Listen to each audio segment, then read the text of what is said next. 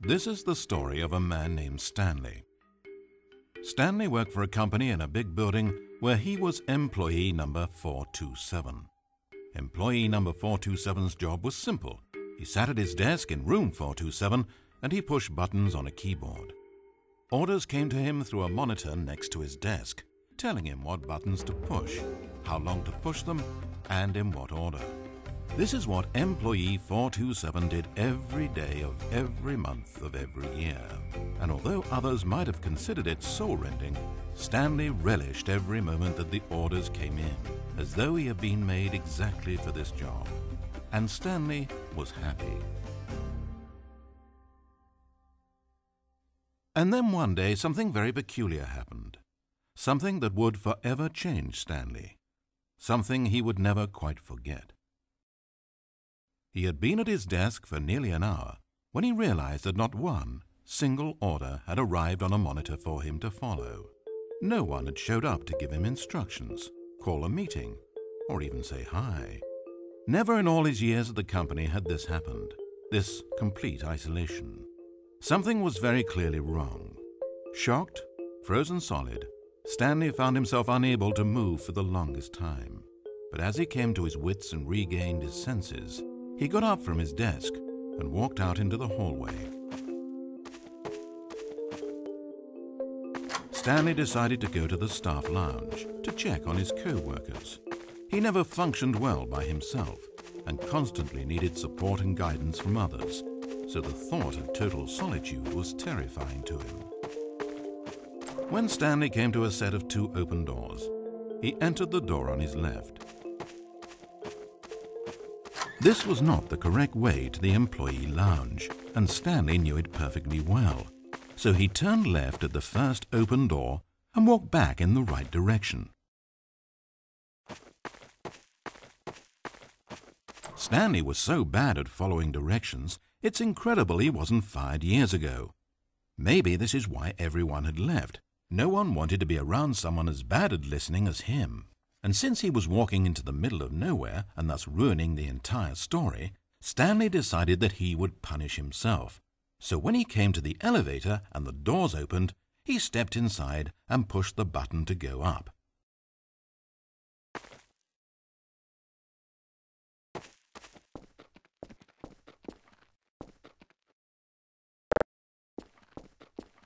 Oh, Stanley.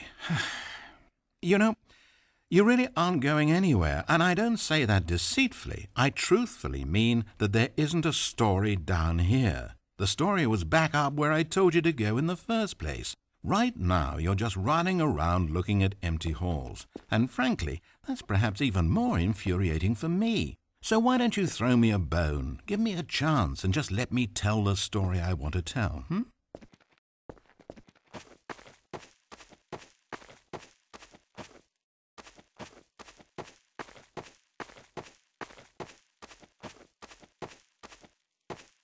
Now listen carefully. This is important.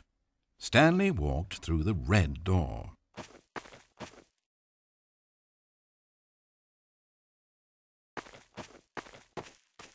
Aha, perhaps you misunderstood. Stanley walked through the red door.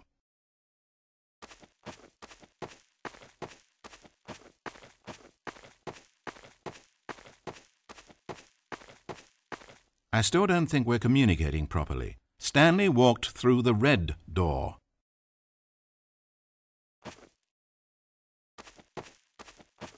All right, fine. Go ahead, Stanley. You want to know so badly what's out there? You want to find out what lies at the end of this road you've chosen? Well, don't let me stop you. You see? It's nothing. No one's even built this section of the map because you were never supposed to be here in the first place. It, it, it, it, it, it, it, it, it's just a bunch of skybox and dev wall textures. That's it. Is this what you were looking for? Was it worth ruining the story I'd written out for you?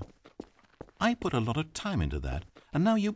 Well, here you are now, just looking at nothing. To think that that's all I needed to make in the first place, just a whole lot of nothing, and you would have been happy, well, hey, you still need a little something to do. Am I right? Here, let me load up another map. See if there's something in here that'll keep you occupied. Ah, here's one. Let's boot this up. We'll see if you like it.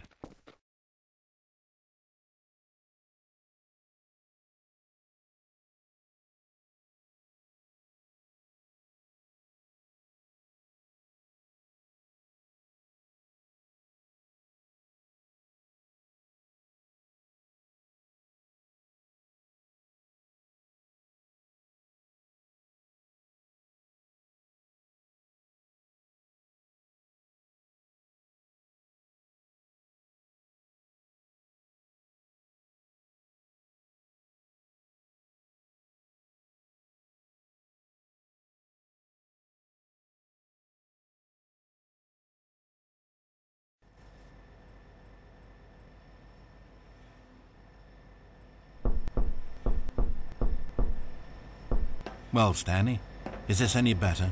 I don't know why it would be. This map wasn't even made for you. At least I created a world specifically with you in mind. I wanted to make you a leading man. This one, well, I'm afraid you're on your own there.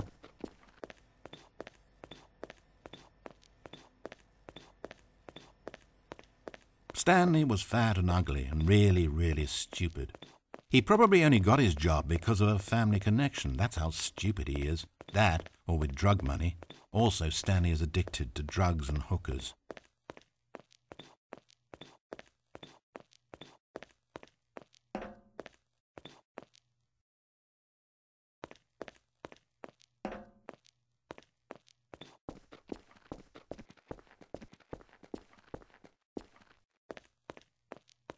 Hold on, Sport. I spent so long talking about you, why don't we just take a break from that and talk about something else for a change? Let's see. Well, according to Wikipedia, more than 90% of the night sharks caught off northeastern Brazil contain mercury concentrations higher than that considered safe by the local government. Now, this is fascinating. Don't you want to know more about the night sharks? Oh, no, of course not. All you want to hear about is yourself, isn't it? Well, fine. You haven't listened to me once so far. I can't expect you to turn that around now, can I?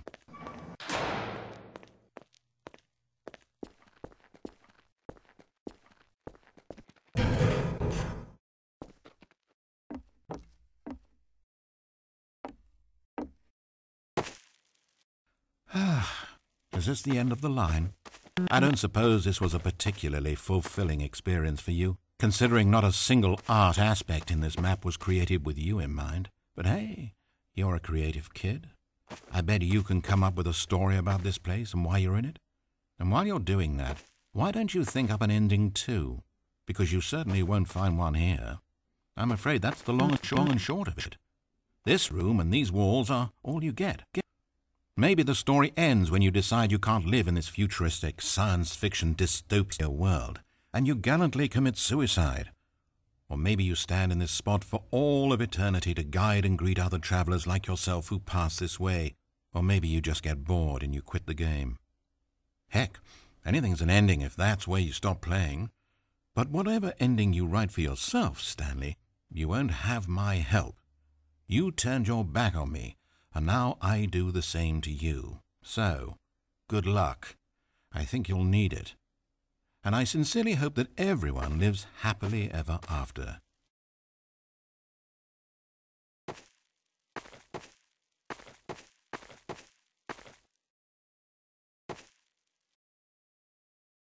Wait.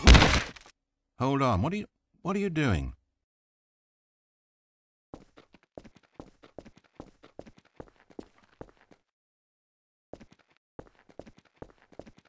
Stanley, don't do that. I can't follow you there. I can't help you. How will you write a story without me? You can't do it. You know that. Stanley, come back.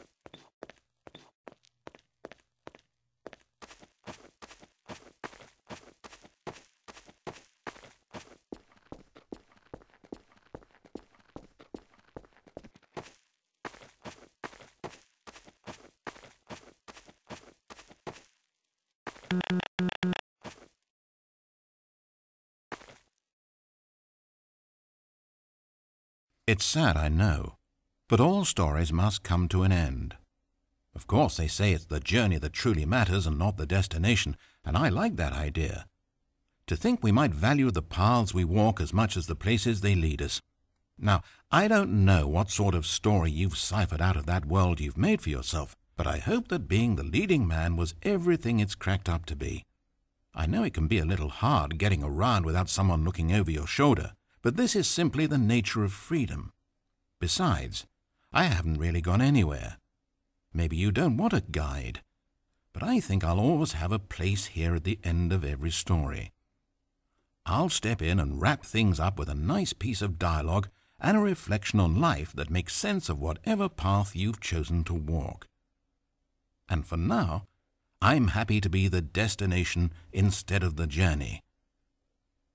But only for now.